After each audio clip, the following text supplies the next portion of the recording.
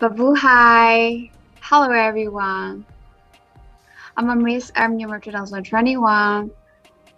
If I have to choose one of the personality from the list, compassionate will be my choice because of this reason. In a Kachin state where I was born and raised, there are a lot of the civil war beatings. One day, I I went to a refugee camp there. At, at that time, I realized that while we can easily accept other amenity that we can imagine access a citizen, but the refugee can get a human rights their Lucidia uh, family and the child can go to the school.